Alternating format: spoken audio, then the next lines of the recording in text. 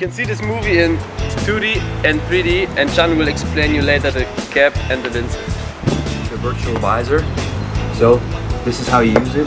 You just unfold it like this. Put your phone here